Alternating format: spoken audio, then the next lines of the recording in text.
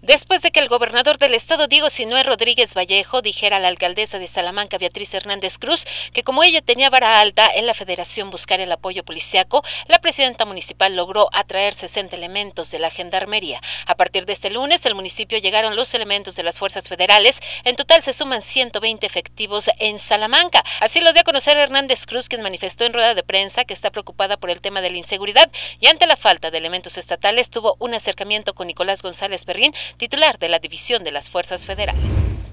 El día de ayer llegaron elementos de las Fuerzas Federales que se integran a la Guardia Nacional y que estarán trabajando en Salamanca en materia de seguridad de manera importante. Nosotros estamos en la disposición de dar todo el apoyo necesario al tema de seguridad. Como ustedes saben, nuestro presupuesto está encausado justo recuperar la tranquilidad del municipio. Esto para realizar un trabajo coordinado y recuperar la paz y tranquilidad de las familias salmantinas. La edil comentó que el actor de los elementos se suma al trabajo que realiza la Policía Municipal, además de ejercer acciones conjuntas para cumplir el ideal de que Salamanca cuente con el mejor modelo y elementos policíacos.